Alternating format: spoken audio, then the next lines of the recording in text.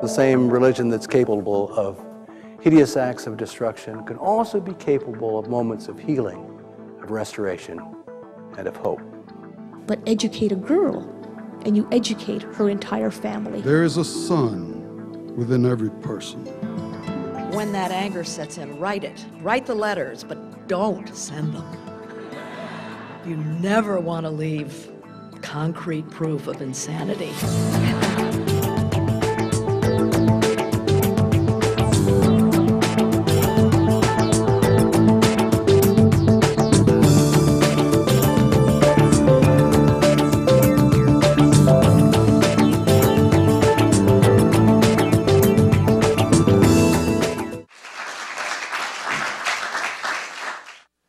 Nobody here tonight made it on our own. We all owe somebody. We owe some debts. And how's the best way to pay back those debts? Obviously, the prime way is to become a peacemaker. And what is peace? Lots of definitions for it. Most basic, of course, is that peace is the result of love. And if love was easy, we'd all be good at it. As a writer, I've been very fortunate to interview many of the world's great peacemakers when they passed through Washington. I've interviewed Desmond Tutu from South Africa. I covered Martin Luther King when I was a reporter starting out. I've interviewed Mother Teresa from Calcutta, Mairead Corrigan from Belfast, who's been here as, a, as one of the honorees, Perez Esquivel from Buenos Aires, Rigoberta Menchu from Guatemala, Muhammad Yunus uh, from Bangladesh, all Nobel Peace Prize winners. And I'd always ask them toward the end of the interview, how do you go about decreasing violence and increasing peace? Almost always the answer came back, you need to go where people are. That's all we have, people with conflicts and solving them and solving them either with fists, guns, armies, bombs, and nuclear weapons, or solving them nonviolently. The only two ways. And they said, you got to go where people are. So I took their advice in the early 1980s and went to a local high school near my office at the Washington Post. And I asked the principal, can I come in and teach a course on nonviolence? She said, give it a try. See what happens. One little problem, we have no money here at this school. We're a very poor school. We can't afford to pay you. I said, I didn't come for money. I came to volunteer. So I began teaching the course. In fact, those books, if you pass those books around, uh, uh, are the ones we've been using. It's not a very difficult course to teach, and you read the literature peace. And you read some Gandhi, King, Thomas Merton, Dorothy Day, A.J. Muste, Sojourner Truth, Adin Ballou, George Fox, John Woolman on the first day. and then we really get into it. And after I rattle off those names, someone always jumps up and says, How'd you ever hear of all those people? How come we haven't heard them? You haven't heard them for an obvious reason. You've been going to conventional schools where we teach you everything but. How do I know that? Well, let me ask you two questions. How many of you went to a high school where they taught you courses either in conflict resolution or peace studies? Hands? No hands go up. If this was a peace loving, peace seeking, peace building, and peace affirming society, every hand would have gone up. Second question How many of you went to a high school where they required you to take algebra and geometry? all hands go up. So there's a good chance we all graduate from high school as peace illiterates. But they made sure we graduate from high school knowing all about pi r squared times bonkazoids, crankazoids, dorkazoids, lunazoids, hemorrhoids, steroids, and APoids for the deep thinkers. Who cares? Have you ever seen a help wanted ad for an algebraist? I haven't. Now, if you like algebra and geometry, that's fine. I think it's kind of odd anybody would, but we need a few odd people around for diversity. Let me ask you a question. When's the last time you went on a date with your husband, wife, sweetheart, or partner and leaned over during dinner time and said, Oh, darling, what a moment this is. Let's talk about algebra. Now, have you ever done that? If you did, we're going to get some therapy for you. I, uh, uh, so we don't teach the children peace, and unless we do teach them peace, somebody else will teach them violence. So I began teaching the courses, and it turns out that it's very difficult to crack some of our schools because you know what's going on now with the testing mania. Leave no child untested. Everybody get that one? No? All right. They, uh, and uh, children always ask, well, it's a great idea, but where has it ever worked? Well, it has worked. In just the past 20 years, there have been at least seven brutal governments overthrown uh, uh, by people who had no tanks, no bombs, no bullets, and no guns. The first country to go down was the Philippines. Remember 1986, Ferdinand Marcos, one of our great clients for weapons, called Great Humanitarian by Jimmy Carter, if you remember.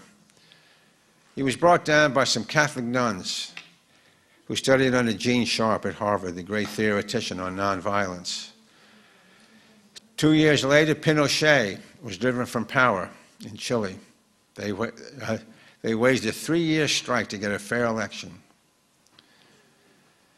Lech Walesa, shipyard worker in Poland, never went to college, but he studied Gandhi, and he knew that power will never yield voluntarily, as Saul Alinsky often said. He drove the Soviets out of Poland, and when he took power from General Jaruzelski, the Polish puppet, uh, the Soviet puppet, he quoted Gandhi when the British left India. Gandhi told the British, and Lech Walesa told the Soviets, we never wanted to bring you to your knees, we just want to bring you to your senses on the Great Lines. Nelson Mandela was driven, became the president of that country after spending 27 years in the Robben Island prison. He invited to the inauguration in 1995 the warden of the prison. And during the ceremony, he looked over at him and said, Warden, you locked me up for 27 years in a cell. I want to tell you something. I forgive you. One of the great moments. Milosevic was driven from power not by Bill Clinton bombing Serbian people, but by students who organized a two year strike, and they brought Milosevic down. He was not dragged through the streets, but he was removed from power. Czechoslovakia, Václav Havel, he was in prison for four years. He became president. The people organized. Republic of Georgia, Shevardnadze, uh, Revolution of the Roses. If someone came here 20 years ago and said, you know, I think that in the next two decades there's going to be seven brutal governments overthrown by people who have no bullets, no bombs, and no tanks, and no armies, you'd have said, friend, you are clearly dreaming. That will never happen. But it did happen. But unless we teach our children about that, they don't know that there are alternatives to violence. It's not just military violence. I had a student not long ago. We spent about, about two or three weeks reading essays by Gandhi and discussing his ideas and his life. And a, a student walked out of class, and right before she left the door, she turned to me and said, This has all been very nice learning about Gandhi's theories, but I go home to a war zone. My parents, are waging war for the past five or ten years. They verbally abuse each other, they emotionally abuse each other, and often physically. How do I stop that war? Good question. Maybe if we'd had her mother and father when they were in school and taught them something about the basics of conflict resolution or mediation skills, that might not have happened.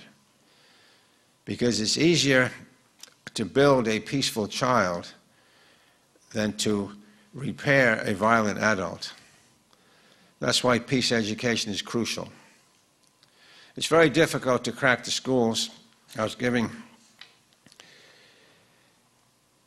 a talk to a school board recently in a, a school district back east near Washington. It, I spoke to the county school board. It's a very liberal county. And I spoke to the school board and told them you have 22 high schools in, uh, here in your county. I think we ought to have peace studies programs in, in each of those high schools. So I spoke to them for about half an hour, and at the end, the school board, one of the school board members said, Well, we certainly appreciate you coming in to present your views, and we'll certainly ponder these issues. School boards love to ponder. That's where the word ponderous comes from.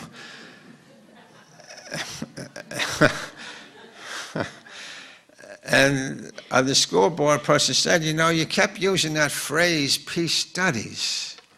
It, it, it, it's going to cause trouble out here. The word, I said, What's going to be the problem? I said.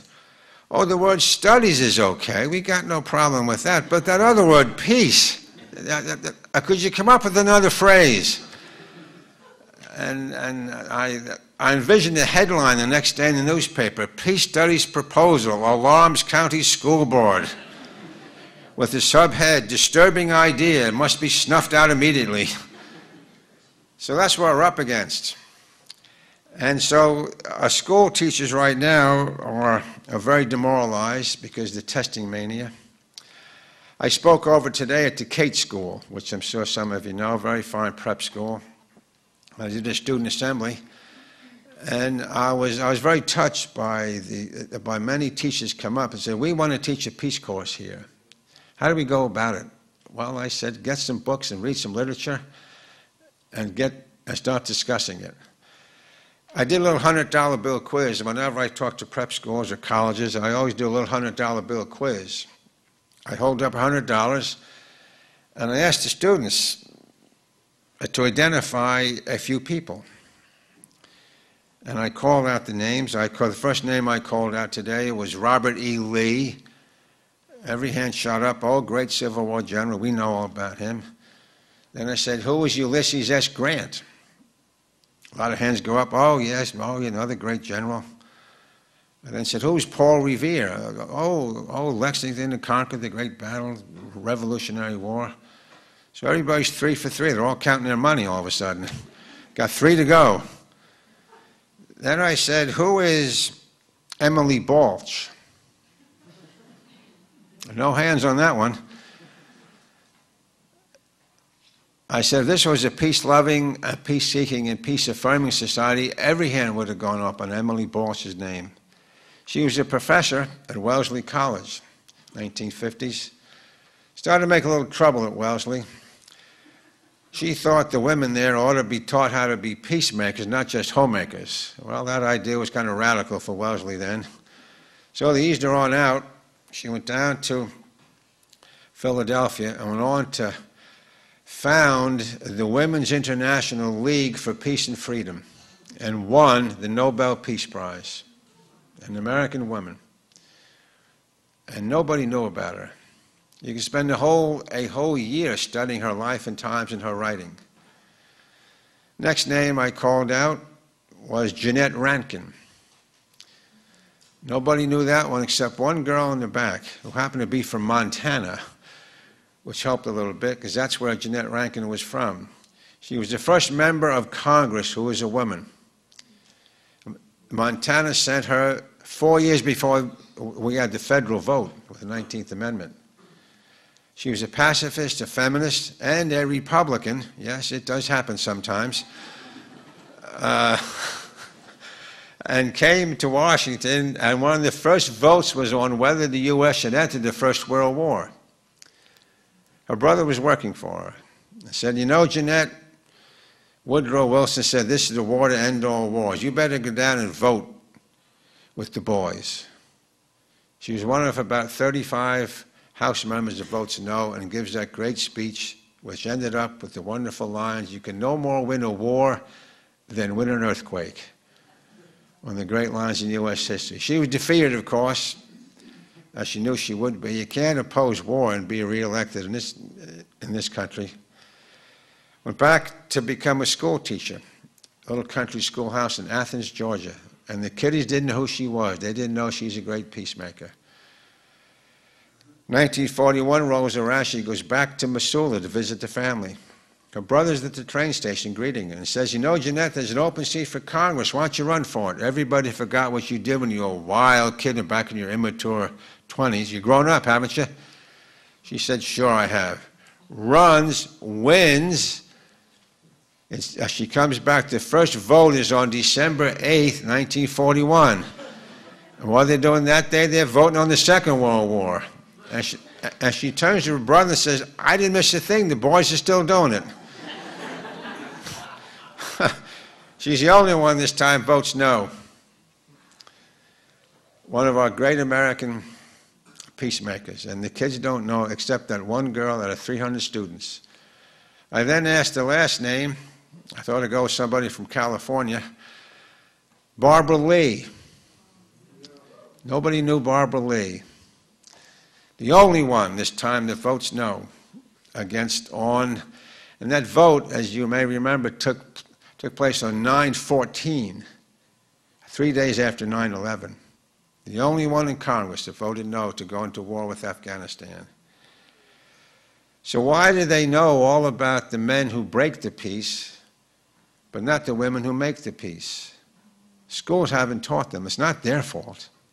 And often the teachers don't even know. So, we have a little work to do. And I was very touched by the Cate School, which will be starting a peace studies course this, this fall and the teachers are eager to do it. I tell the students, you ought to organize and make this happen. You're the customers. I don't think anybody ought to graduate from high school without organizing at least one student strike. You learn a little bit about power that way. I have a little rule in my classes. I tell the students the first day they come in, you're not, you're not allowed to ask any questions in this class. Don't you dare ask a question.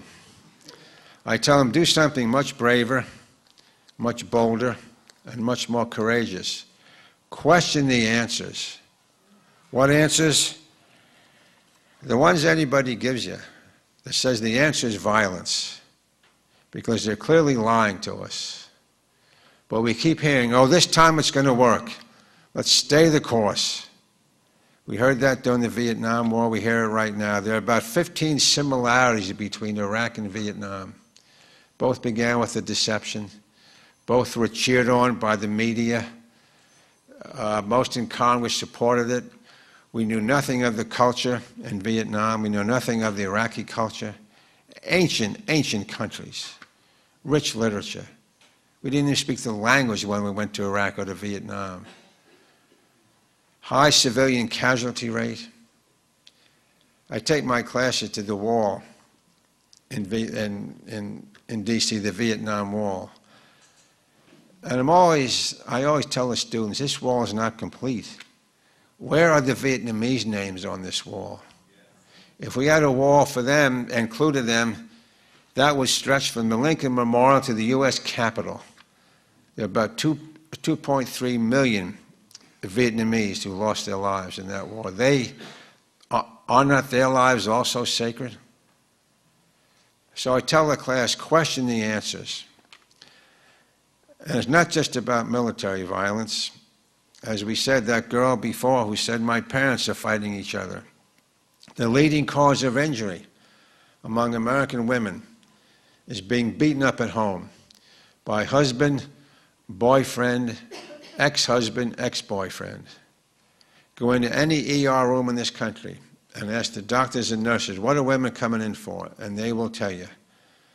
A large number are coming in because they've been beaten up by someone they know, not some anonymous mugger coming out from the alleys. I come to you from Washington, D.C. Does anybody know what D.C. stands for? Yeah, that's what they tell you. A few of us think it stands for death capital. That's a little harsh but accurate. What's it mean? Well, that's where the Congress is. And what does Congress do? Well, you may think it's, it's about politics, it's about campaigns and who's ahead in the polls and who has this position. Might be. Politics is really about one thing only who decides where the money goes? That's what politics is. The current military budget, according to the Center for Defense Information, is $878 billion. Now, that number is too large unless you are either a math major or an astronomer. it's way out in the ozone. You can't grasp it. It comes down to $2.5 billion a day. That's still kind of high for all us thousand heirs, or dollar heirs if you're a student. It comes down to $28,000 a second. $28,000, $28,000, $28,000. I can't stop. Will someone please stop me? 28,000. I can't stop. $28,000. 20 I can't stop. Someone please stop me. $28,000. I'm addicted like the Pentagon. They can't stop either.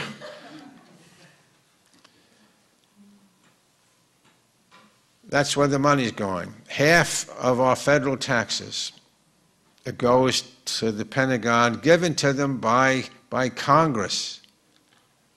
And keep in mind, I blame nobody in the military for our problems. I blame nobody in Congress for the, for the wars we're in. Who do I blame? Well, of course, I blame myself. I have to figure out how to be a better father, a better husband, a better writer, a better teacher, and each of us has to ask Am I using my gifts well? Uh, uh, uh, to be peacemakers. Uh, because before we disrupt the system with our commitment to nonviolence, we need to disrupt our own lives and begin to figure out where are we spending our money and where are we spending our time. I always tell the high school students that wonderful line live simply so others may simply live. And they ask, oh, how do you do that? Well, you figure out the difference between what you need and what you want. There's a big difference because we raise our kids uh, to want things. That's what the commercials are all about, the advertising, are the companies going after the kids. I always, I always tell my college students, write a paper this semester, not another dull research paper with footnotes and side notes. Write a, research your own life and figure out how do you deal with violence? Uh, do you inflict it? And if you do so, why do you do that? And also tell about other times you have been, been wounded by somebody. And they write great papers about it.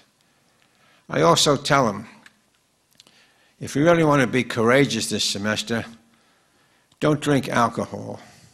Because I asked them, how many of you are environmentalists. On all hands go up. I said, what about your own, your own body as the most basic environment of all? What are you doing about that? I tell them, don't give your money to the alcohol industry. Don't give it to them. It's the worst of all the drugs.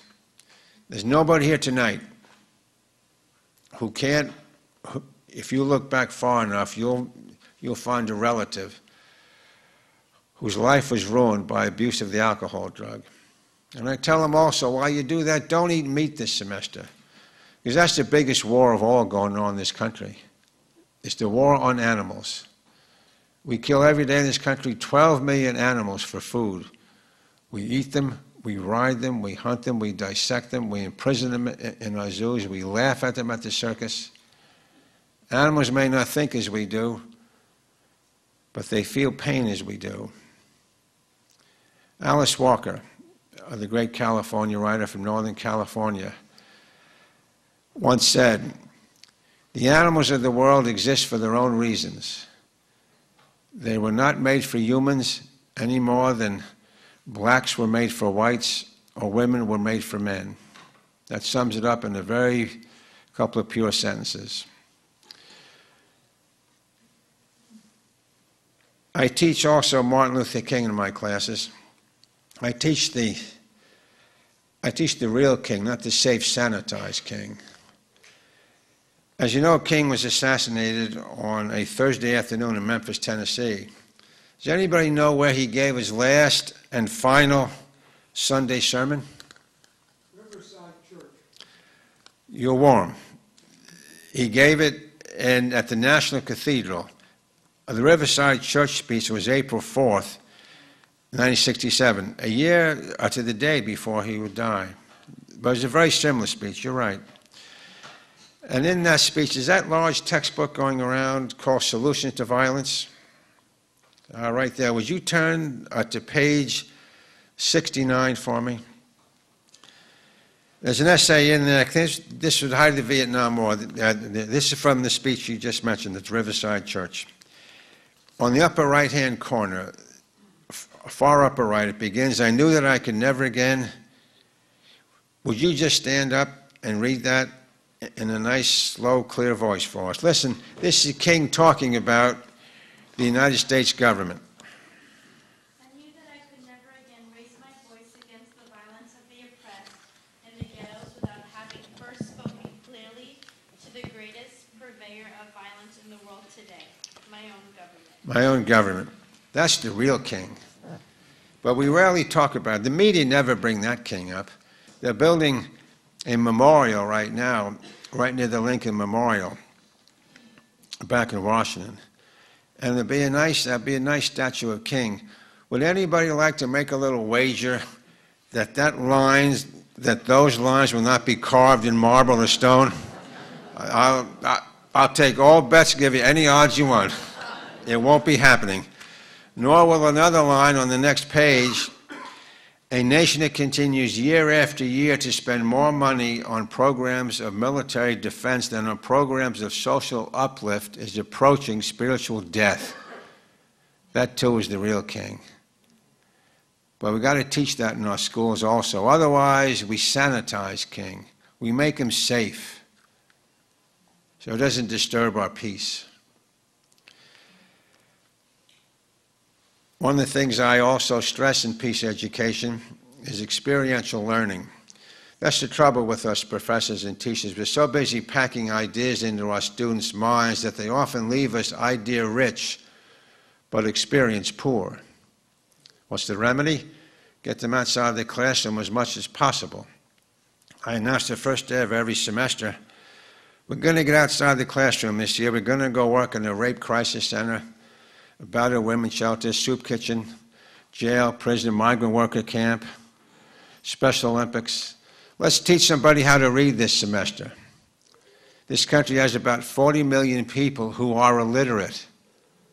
That's a pretty big number. That's about the same number of people in the last election that voted for George W. Bush. and might have been the same group, too. Now, now that was a cheap shot. Uh, but it felt good, didn't it? All right. I get all these lefties riled up, David. Listen, uh, every once in a while, one of those kind of slips out. Okay, I'm in, I'm in, I'm in impulse control therapy to get over it.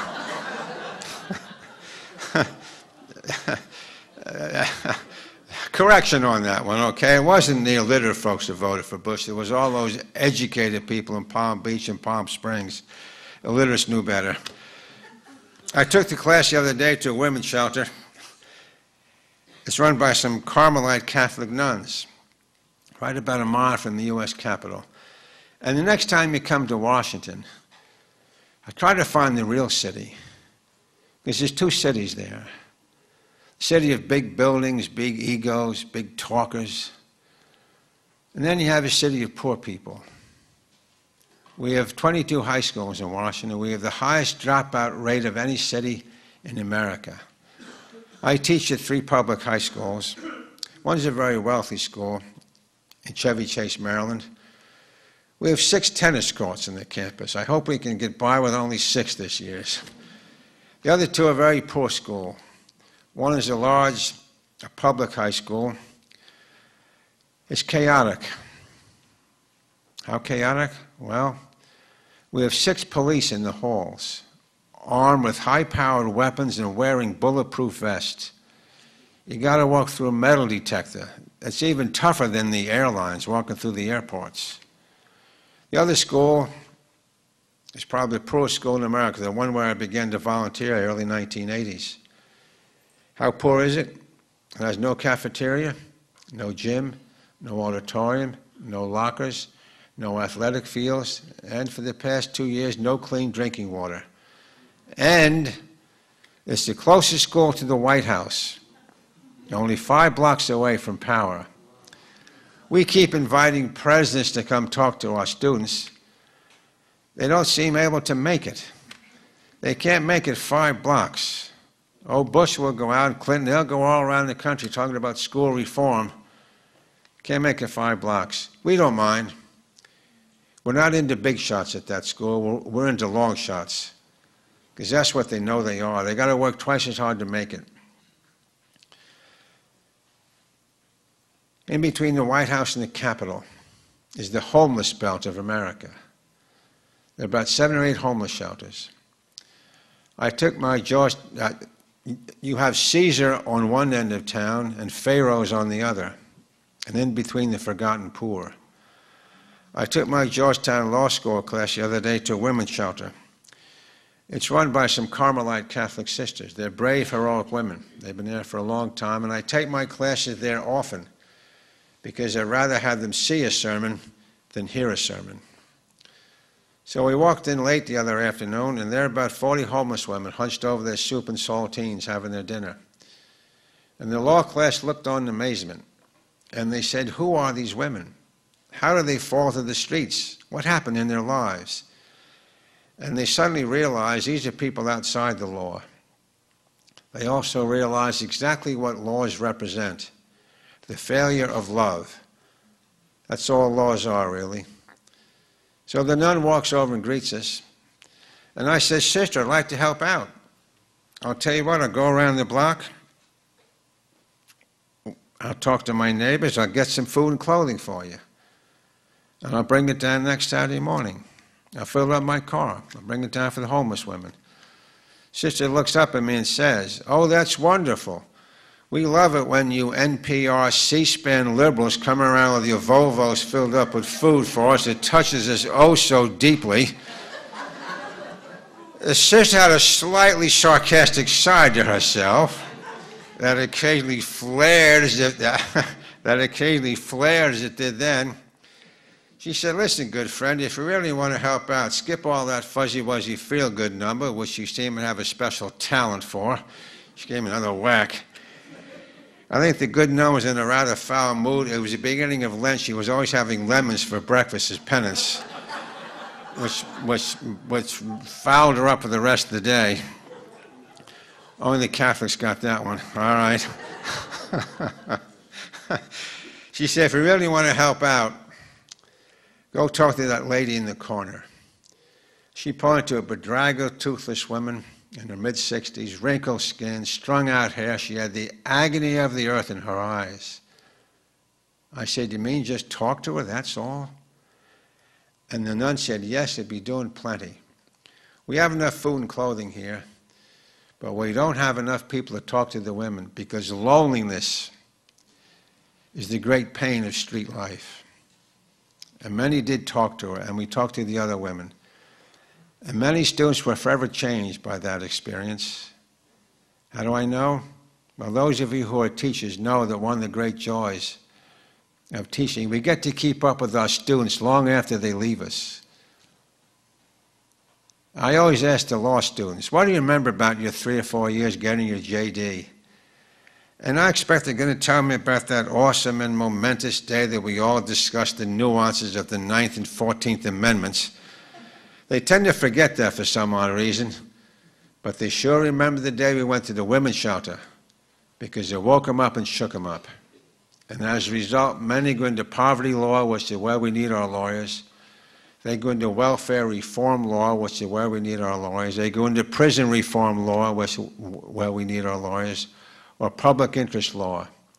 We don't need any more lawyers on K Street or Wall Street. We don't need any more lawyers defending Martha Stewart or Scooter Libby. They're going to do just fine. We need lady in the corner lawyers. But just a little experience like that.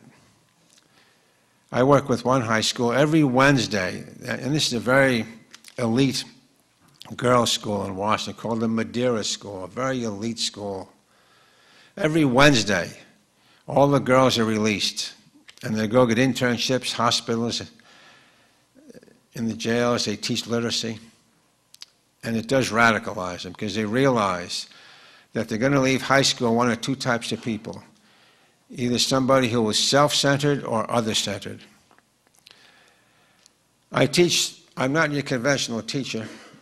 I don't, in my high school classes, I give no homework, I give no tests, and no exams. I think homework and exams and tests are all forms of academic violence, which my students have no trouble agreeing with that one.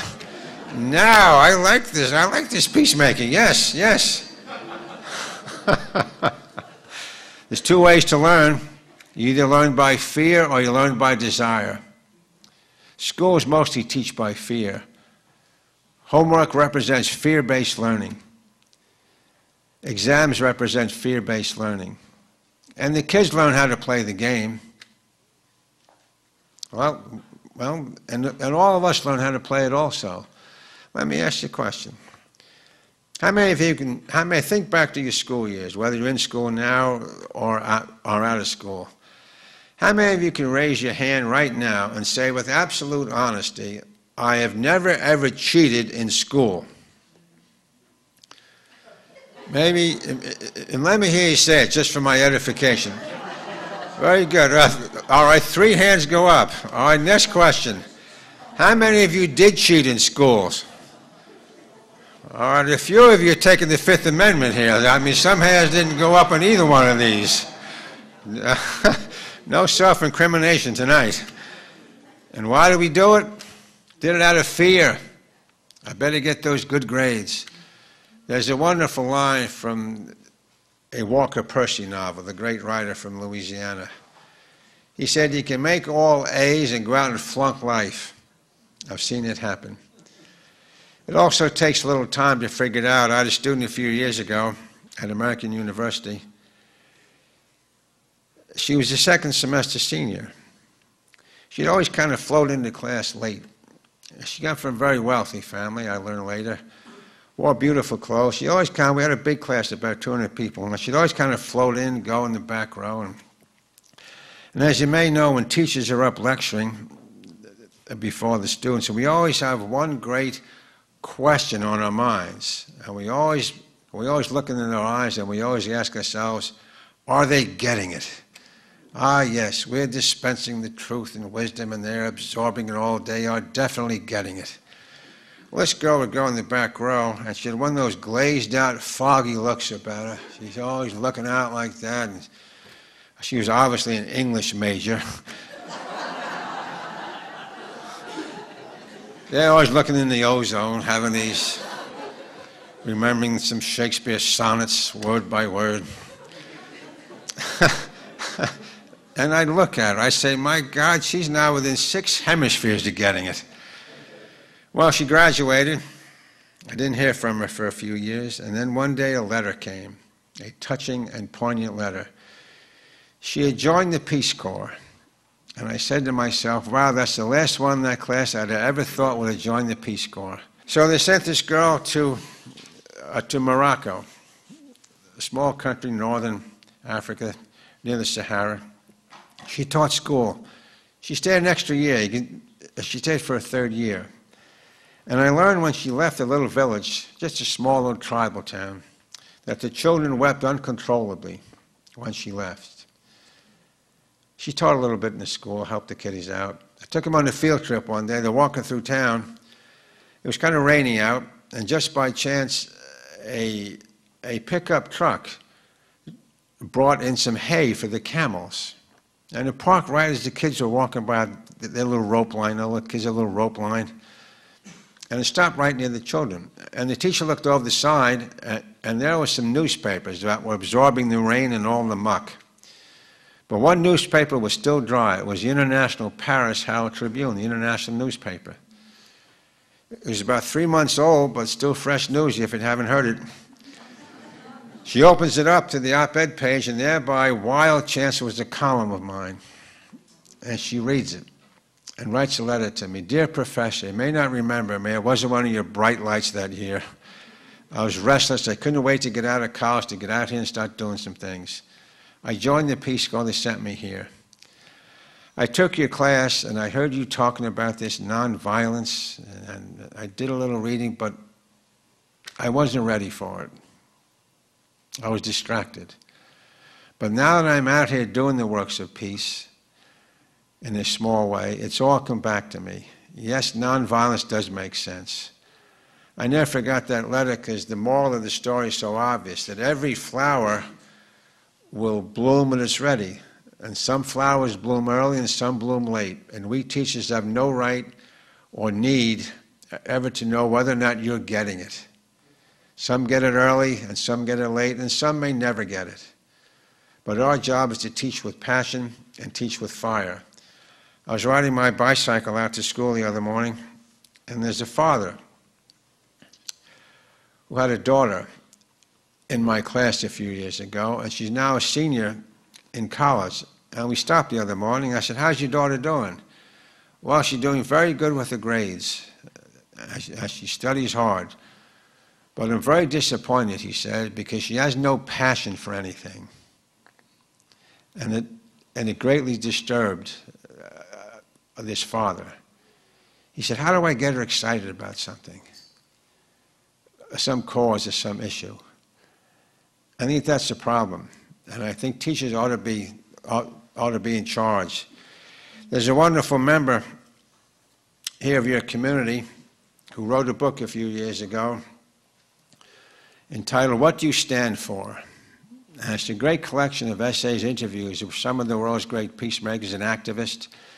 And his name is Jim Lichtman. You may know Jim, he lives right here. And he's, he's, he is, he's a true activist. And he came to my classes not long ago when he was visiting Washington. And he spoke to the kids. He's a leading thinker and writer about ethics. And he, and he gave a stirring speech to all my classes. And I'd like to honor Jim by asking him to stand up and give us a nice round of applause for Jim Lichtman.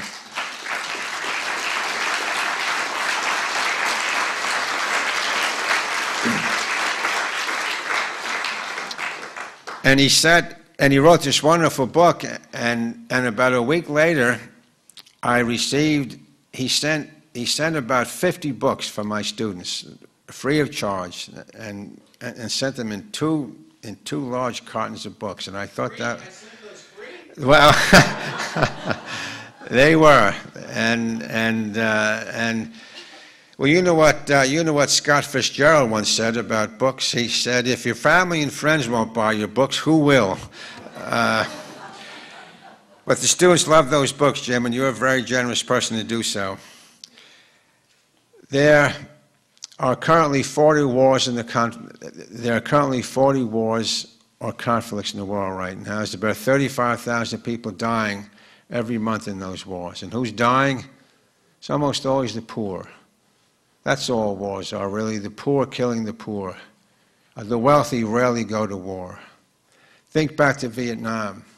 There are 535 members of Congress. How many of those members do you think had a son who saw combat in Vietnam? Only one. That was Clarence Long, a labor Democrat from Baltimore, whose son was killed in Vietnam. How many American soldiers right now are graduates uh, uh, uh, how many soldiers now in Iraq are graduates of Ivy League colleges, do you think? Not very many. They're not recruiting in the Ivy Leagues. When Colin Powell left after five years of being chairman of the Joint Chiefs, he gave a press conference. And a reporter asked, General Powell, what are, some, what are you most proud of in your five years as being the chief? He said, I got ROTC programs in the 320 high schools. In other words, I militarized the 14 years old. So the peace movement needs to go into the schools also. That's why Gandhi so admired soldiers. He said they're disciplined people. They'll sacrifice uh, uh, for their beliefs. Why don't we sacrifice also? So that's where we need to be in the schools. We have 78,000 elementary schools in this country, 20, we have 33,000 high schools and about 3,400 colleges and universities. All of those ought to be teaching the basics of conflict resolution, mediation, and peace studies. Otherwise, we have little chance of turning it around. We're going to keep graduating students. And you know what goes on in our schools. We often process our students as though they're slabs of cheese going to Velveeta High onto Mozzarella University and Cheddar Grad School. That was a pretty cheesy metaphor, wasn't it? we would never, and I teach just one course at the three high schools where I'm teaching. Would we ever graduate anybody with only one math course in 12 years? Or only one science course in 12 years? But even to get one course, it takes so much. But I urge you to go to the local county, go to local public high schools in this area and ask, where's my tax money going? Are we using it to teach our children how to be peacemakers? That will question Caesar and his wars. There are two types of violence hot and cold violence. Hot is when you feel it, you see it, it's emotional, it's visual, it's visceral. That was 9 11. That was the Virginia Tech massacre. That was the shooting yesterday in Chicago. And it's interesting about, about 9 11. You often hear the expression, oh, that changed the world forever. Why didn't we say that about why, would, why didn't we say that about Rwanda when 800,000 were killed? Why didn't that change the world forever? Why didn't East Timor, where 250,000 were killed, why didn't that change the world forever? And you know what happened after 9 11. There were, two, there were two reactions there was shock and there was surprise.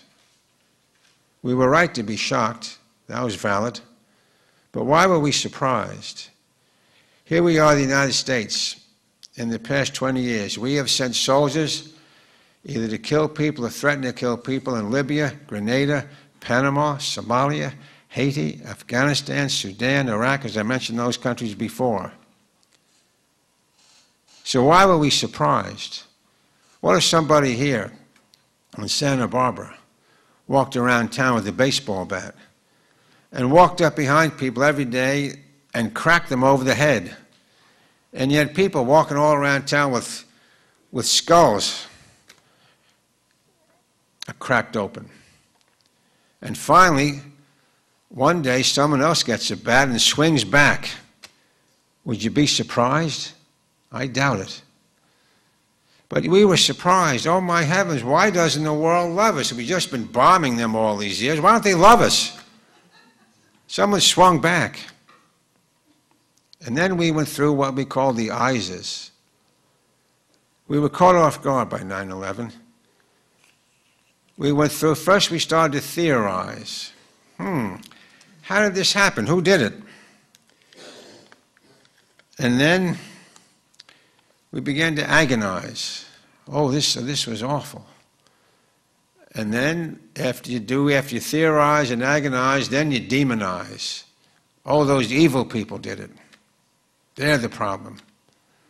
And then after you theorize, agonize, and demonize, then you moralize. Let's go kill somebody. That'll bring about justice. Three days after 9 11, there was a prayer service at the National Cathedral on 9/14, on the morning that Barbara Lee voted against the war. And Billy Graham came, the Catholic cardinal came, the rabbis came, the mullahs came. They sang patriotic songs, and at the end of it, they said the Lord's Prayer about forgiving trespasses as we forgive those who trespass against us. Well, someone did, someone did trespass on 9 11 in a rather emphatic way. Did we forgive them? Are you kidding? Let's go kill somebody. John McCain came out of the church that day and he was interviewed by a reporter. And McCain said, This is what we always do when we have a crisis in America. First we pray and then we fight. What he really meant, first we pray, then we kill. But we don't like to use those words.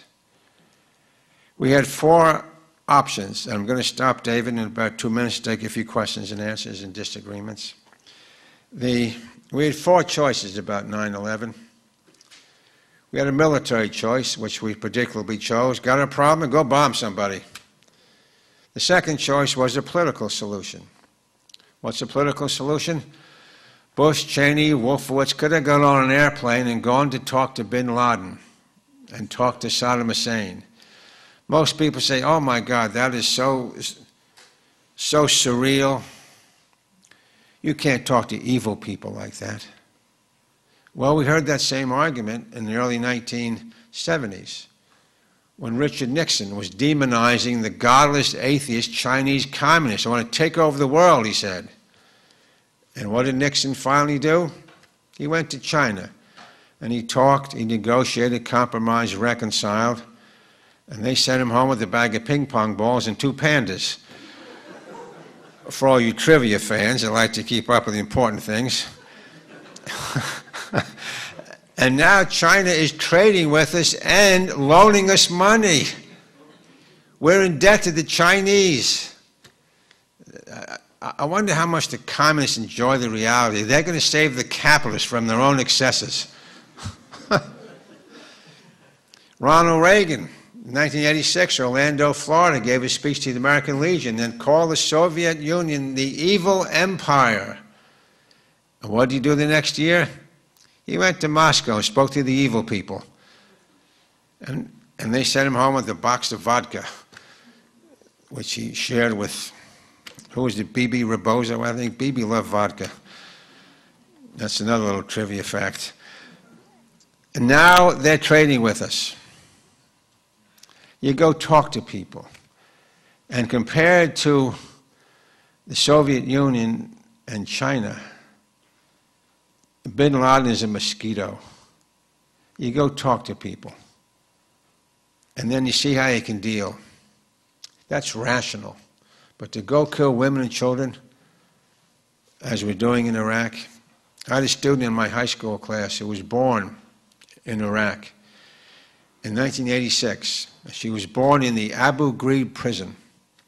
We've all heard about that. Her mother was a political prisoner. Her father was locked up also. They took the baby out of the prison. They took her home. Her friends came for the baby, took them home to the grandparents who lived in Najaf, a town you've heard about, about an hour south of Baghdad. February 1991, the American pilots came and bombed Najaf. This family lost everything. They had to flee because they were political. Uh, they, uh, they, were political dissidents, hated by hated by the uh, uh, Saddam Hussein government. They had to flee to Saudi Arabia. They had to walk on the highway of death. They couldn't march by day because 120 degrees heat. They had to march by night, and they were shot at by the Republican Guard that were given bounties to kill the dissidents. The child lived in the refugee camp for six or seven years, very little water, no schooling, no doctors. And then came back in 91 to Najaf. And then the Americans uh, came to bomb her family. She came, and the family was finally released from, from the refugee camp. They made their way to Cairo on a flatbed truck. They made their way to London and came to Washington, where I ended up with this girl in my high school class at that poor school near the White House. She said, Two governments tried to kill me the American government and the Iraqi government. I have little use for either. I used to bring her around the schools to give lectures to the private schools and also the public schools. Children would weep at her story. I said, What are you going to do? She's a senior now at American University. I said, What are you going to do with your life? I'm going to become a doctor. She's a pre med student now. I said, Where are you going to go? I'm going to go work in the refugee camps. That child knows something about life and also death. The, th- uh, the third solution was a legal solution. It's called due process. That's what Milosevic got. That's what Noriega got. Obey international law. uh, obey the Nuremberg provisions uh, and also the Geneva Conventions. That's due process. And the last solution is a, a moral one. Yes, I do think we should have forgiven uh, the people who did 9 11 and ask them uh, uh, to please forgive us of all our far greater systematic violence. 9 11 was a one day crime spree, far, far different from the well organized military campaigns, as well as, as keeping our nuclear weapons at the ready every day. We have submarines prowling the world with nuclear arms, all ready to go. And that's why I admire your work, David, so much, and also those who work with you. I, I hope that we can get this. I, I think we're reaching a peak now where the movement is gaining strength, and you're hearing more and more about it. And I do honor the program that you have worked so hard all these years. So, those are the four solutions. I think we have to work to do this in our schools. I just want to finish up on one little story, and then we'll take a few questions and answers. I do a little experiment with my classes. I ask them the first day of every semester, I ask them in a very earnest voice. You always got to be earnest the first day of school. You have to be almost unctuous because it's such a thrilling experience to be in, uh, learning truth and wisdom. I want you to do a little experiment. I say, please get up out of your chairs and go stand in front of the high school and stand there for, stand there for 10 minutes and count as best you can all the red cars you see go by and all the green cars you see go by. Everybody got instructions now? Pay attention. Red cars, green cars for 10 minutes. And come back in. I'll have two questions for you. So they all dutifully jump up. And I, I look out the window and they're, they're, they're all counting cars whizzing by. They come back in the classroom uh, over here. Well, I got 10 red, 5 green. What'd you get? Yeah, I got 5 green, 10 red, about the same. Question number one Didn't anybody think that was kind of stupid? to be out there counting red cars and green cars, and usually the class intellectual is always one. Yes, I did think that was kind of dumb. Well, my second question is if you thought it was kind of stupid and dumb, why'd you do it then? and they get right away what it's about a little exercise in questioning abuse of power. Because power keeps asking us to do dumb things. You put your faith in nuclear bombs that'll keep us safe. Put your faith in, in the military contractors, they'll keep us safe. Now place your faith in the gun and the bomb, and we keep on counting the cars. Uh, just two last thoughts. You've been a terrific audience and, and I do welcome you to come to Washington. I know Jim Lichtman spoke in our class a few, a few weeks ago. And if you do care about being peacemakers, it's one thing to go out and change the world, which is fine, but make sure the world never changes you. And if you do care about either beginning or expanding your commitment uh, to nonviolence and becoming people who are other centered, not self centered, if you do care about that, either beginning or expanding your commitment to peace and justice in a small way or a large way, the only word that really matters is a simple, sacred, one syllable word start. Start. I thank you very much, and I'll see you again.